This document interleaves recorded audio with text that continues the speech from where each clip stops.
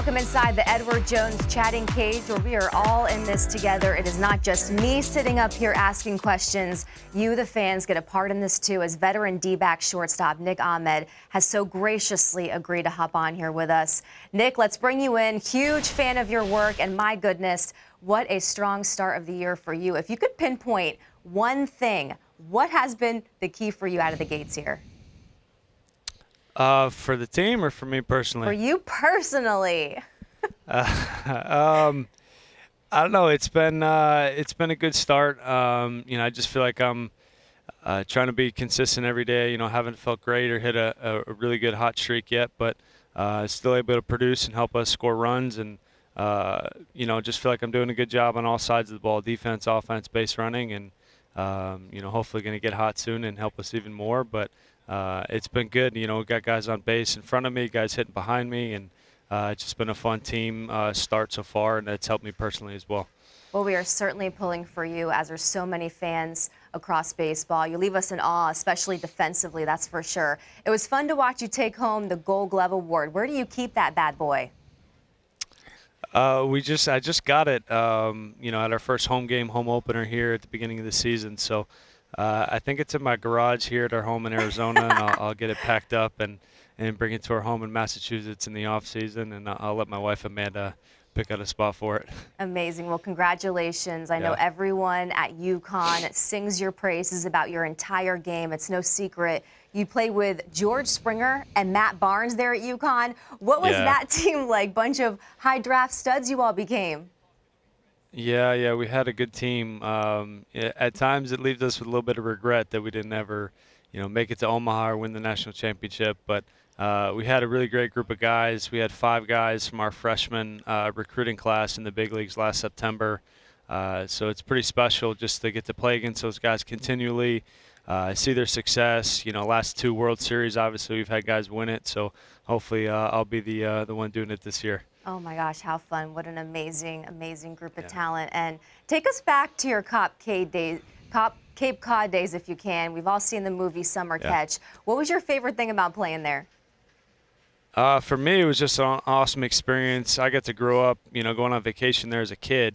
Uh, growing up in Massachusetts, my family would take me there on vacation every summer, and uh, we grew up going to the games in Orleans. We go to the beach in the morning and just go sit out and watch the games at night. So uh, kind of dreamed of that since I was a really little kid and getting to do it in college and uh, play in those fields and play against all the best guys in the country was a dream come true. And uh, it's just a, it's a great summer. You get to stay on the beach and you know work a little part-time job and, and play baseball at night. And uh, now you can't beat that. It was awesome. Wait, did you work a part-time job? You personally? Uh, yeah, I kind of had a little grounds crew type job nice. where I made a little bit of money. Uh, it wasn't anything serious, but uh, you know, I took care of the field there in Bourne and um, and did some of that. Yeah. I don't know how you did it all. Uh, let's welcome in this video caller now. We have Lou calling in. Lou, what's your question? Thank you so much. Good afternoon. And my question from Mr. Nick Ahmed is: Before making it to the majors, was there a shortstop that you admired of watching while growing up? Yeah, for sure. Like I said, I grew up in Massachusetts, so I was a huge Red Sox fan growing up. Uh, just getting to watch Nomar Garciaparra, uh, he was kind of my favorite player growing up. Uh, and then getting to watch him play against the Yankees and Derek Jeter. So those two guys I get to watch a ton, you know, on TV all the time in the summers growing up as a kid, and uh, just getting to emulate their game. You know, they're bigger shortstops who are athletic and and did things on both sides of the ball. So uh, they're two good guys to look up to, and I'm glad I, I got to watch them play as a kid. Yeah, what an amazing team you got to learn from night in and night out, that's for sure. Twitter question for you, Nick. This one comes in from Marty here. He wants to know, what did it feel like to avoid being CC's 3,000th strikeout victim, then ultimately being able to witness history last night? Yeah, it was pretty special. Uh, I wasn't really sure how big of a deal it was going to be, uh, but I think uh, he was only the third left-hander in the history of the game. So it's pretty special. Uh, I got down to two strikes pretty quickly, made two good pitches, 0-2.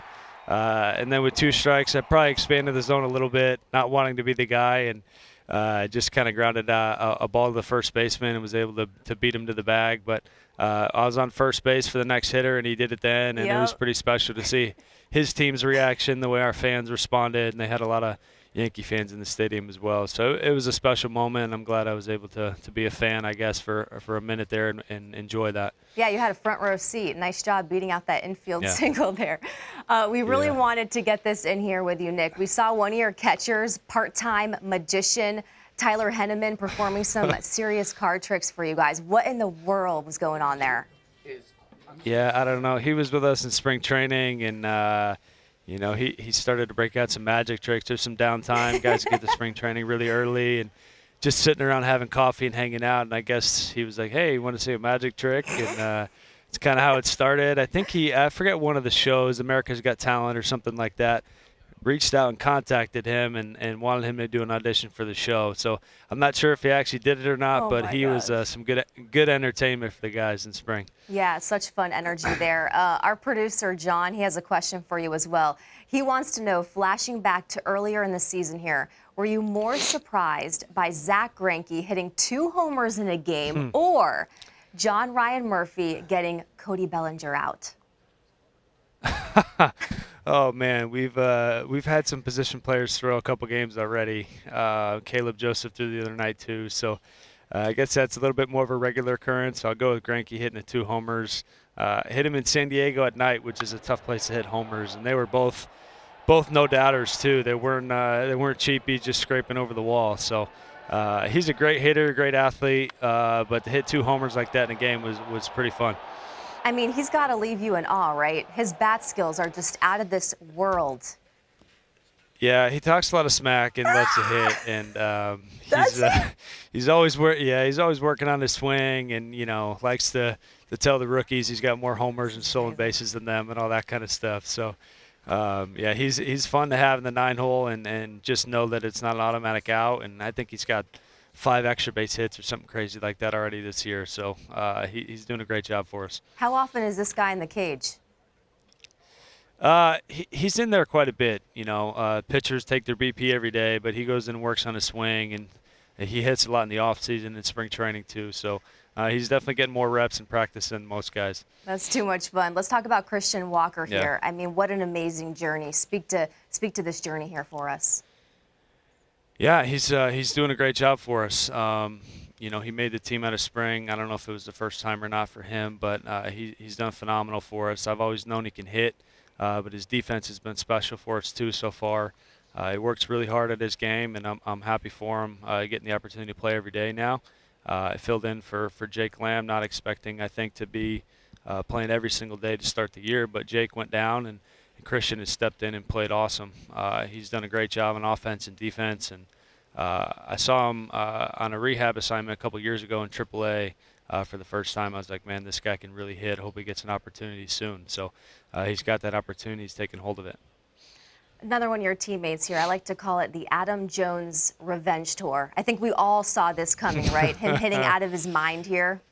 Yeah, yeah, I mean, uh, just to see that he didn't have any contracts or offers, I guess, uh, until we scooped him up there in the middle of March uh, was was eye-opening, I guess. I mean, he's been such a good player for such a long time, and uh, we're happy we've got him here. Uh, but we're not surprised at the, the level of play he's brought to us. He's been a great player for a long time, and uh, I, I, guess we're we're happy that we have him. The, the rest of the league doesn't, but uh, we're not surprised at what he's doing. Uh, he's just doing a great job for us. He's an ultimate professional, works hard, takes care of his body. Uh, he's always doing a great job on and off the field for us. So uh, we're excited to see what the next five months are going to bring with him. It's so fun to hear you talk about your teammates here. We thank you so much for that. It is time for the lightning round now. Before we go, rapid right. fire questions coming your way. This will be some fun. Uh, number one here in this lightning round favorite Hall of Fame, baseball or basketball Hall of Fame that's located just what, five miles away from where you grew up in Springfield? Yeah, um, I'll go basketball Hall of Fame just because it's so close to me.